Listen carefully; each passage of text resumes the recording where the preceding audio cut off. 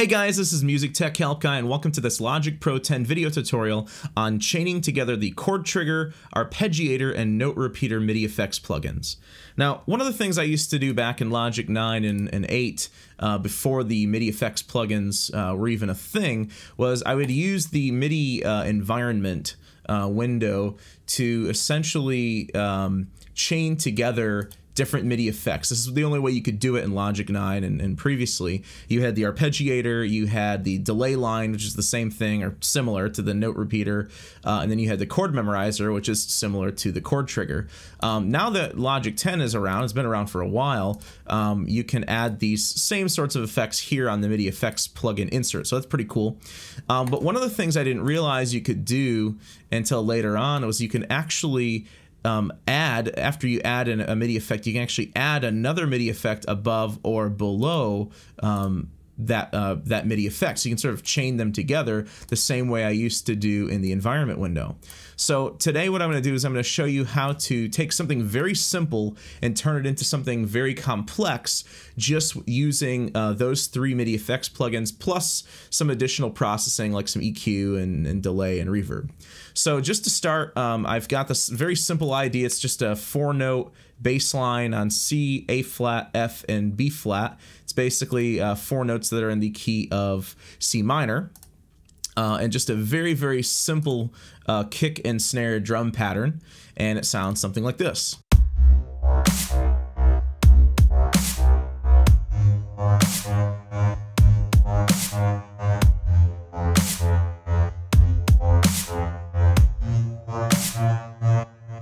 So very simple. Um, I'm using the bass machine breakdown uh, preset. It's under bass uh, sub all all bass machine breakdown.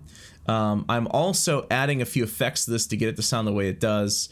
Um, I'm adding a little bit of EQ just to boost the bass, scoop out the high end a bit.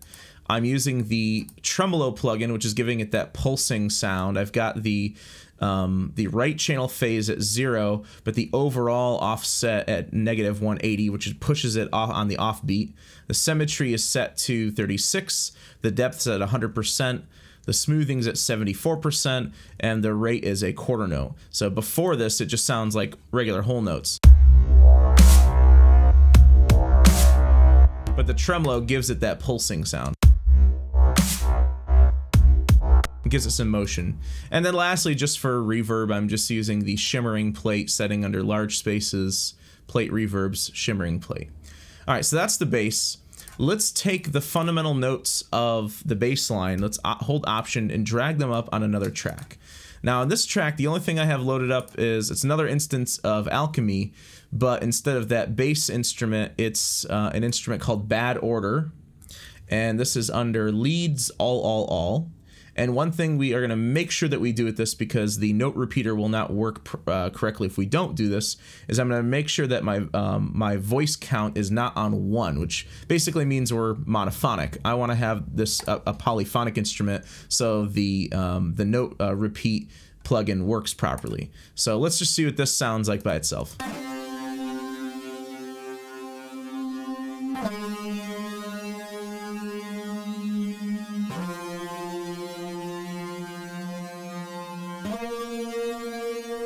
Now, one thing I'm going to do is this is going to be sort of like a lead, so I don't want it to be down in the, the C2 range um, like the bass was. And actually, the bass is sounding more like it's down to the C1 range because it's a um, it's a, a bass synth. So. So what I'm gonna do, let me turn this off so we don't hear that again. Um, drag over all these, I'm gonna hit Shift Option Up. It's gonna bump us up an octave.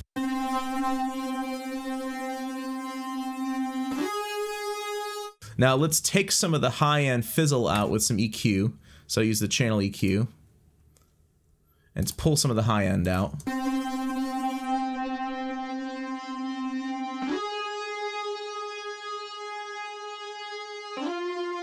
There we go. So filtered the low end as well.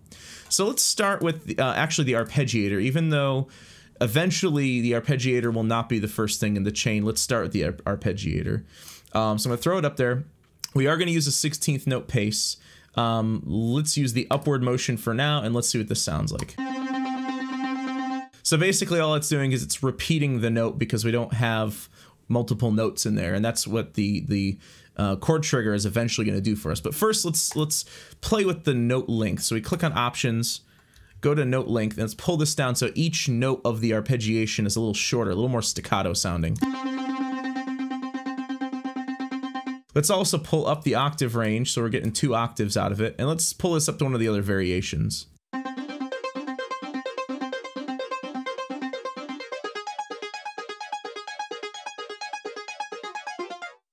Now you can see there's a, a little bit of like um, like a glitchy noise in there, and that's just because the glide time is up on this synth. So let's pull the glide time down completely, and that should get rid of that.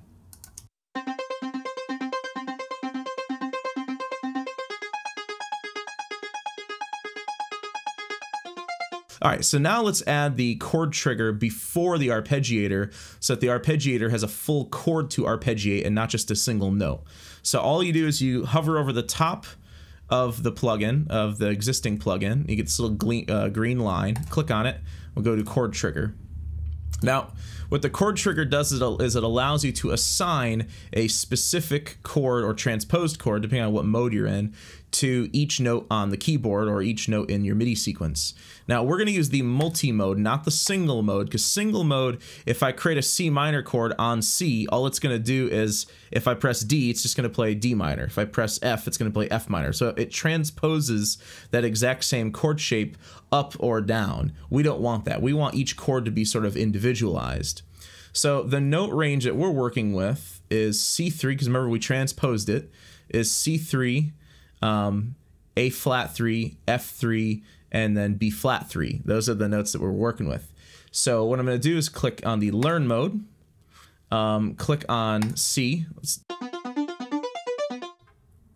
let's get rid of these. Actually, you can do that by uh, holding option and hitting clear here. There we go. Go back to learn click on C, and then we can type in any chord we not we want. So the problem is if I if I type in anything right now, it's going to automatically cause uh, the arpeggiator and the chord trigger plugin to trigger. I don't want that because I don't want to have to talk over it right now. Um, so I'm going to just mute that track just temporarily.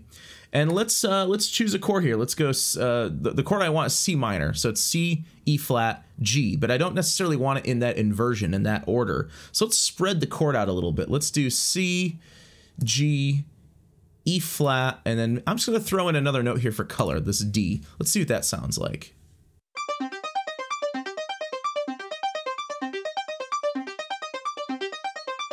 So that's pretty cool.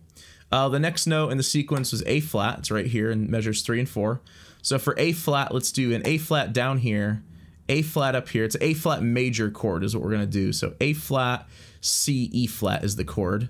So here's A flat, E flat, and A flat. Let's add C in there. And um, I'll tell you what, let's add like a, a G up here. Let's see what that sounds like. That's kind of cool. Uh, the next chord is F. That's from measure 5 to 6. And that chord, uh, we're going to use F minor, which is F, A flat, C. So let's do F down here, F up here, A flat, C. And I tell you what, let's put this little G in here for color. Let's see what that sounds like.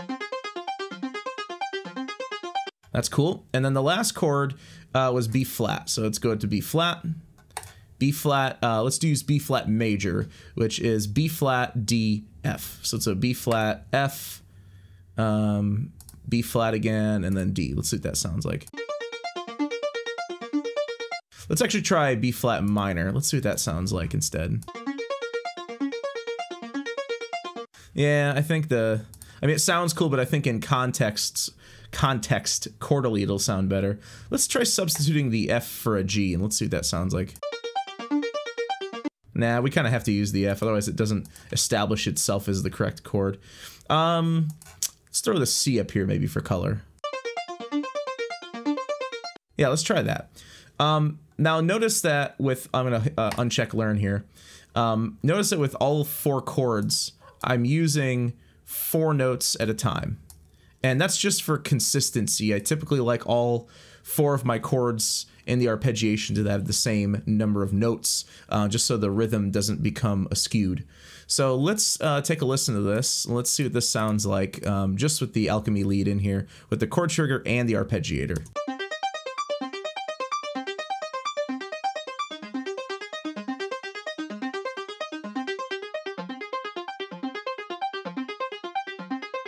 Cool, that's cool. I just pulled some more of the, the high end out just to to make it a little softer sounding.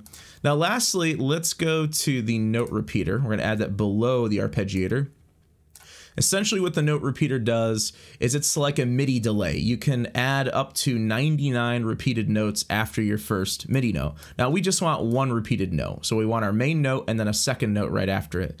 You can also transpose that delay up or down by 24 semitones, which is up to two octaves. So I'm going to say, let's transpose this up one octave, which is 12 semitones.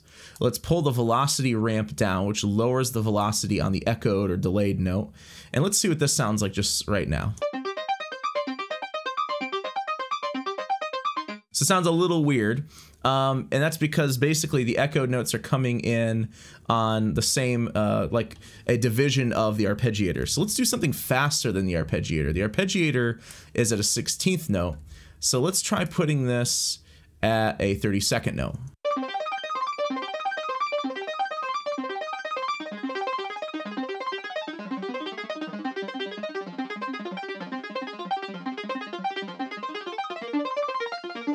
So it's almost like a little glassy echo going up. I tried going down an octave. It sounded okay, but not not really that great. And I pulled the velocity ramp quite a bit down just so it doesn't uh, doesn't seem like it's it's too much. You know? I wonder if we took the arpeggiator and made it eighth notes instead of sixteenths. And I wonder if we took the, the, the delay and we made it sixteenths instead of eighths, if it wouldn't be so crazy sounding. Let's give that a shot.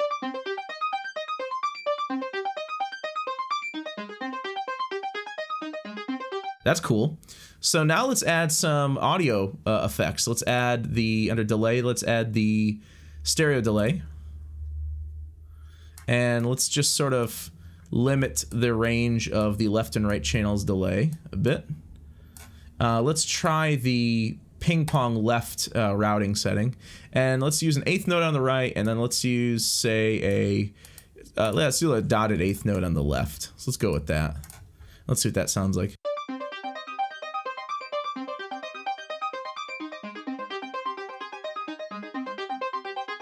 And remember, what we started with just sounded like this. Nothing special whatsoever. So the moral of the story here is sometimes you can take something incredibly simple that's based on something else. It's based on the bass line and you can create something very complex with it just with a little bit of modulation and just a little bit of effects. So let's listen to the whole thing all at once and see what we've got here.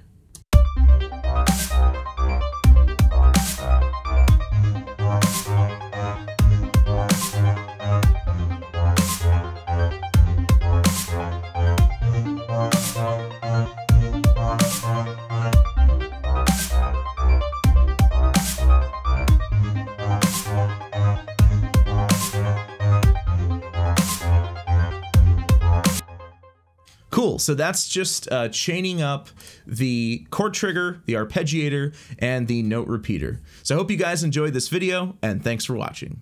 Hey guys, if you'd like to see more videos like this, subscribe to the channel to see multiple new videos added every week. Also, you can check out carneymediagroup.com where you can view all of my video tutorials, search for specific topics, download the videos ad-free, and in some cases you can purchase session content so you can work along with me in the video. Also, please consider giving a monthly contribution at patreon.com forward slash music tech help guy. As always, thanks for your support and thanks for watching.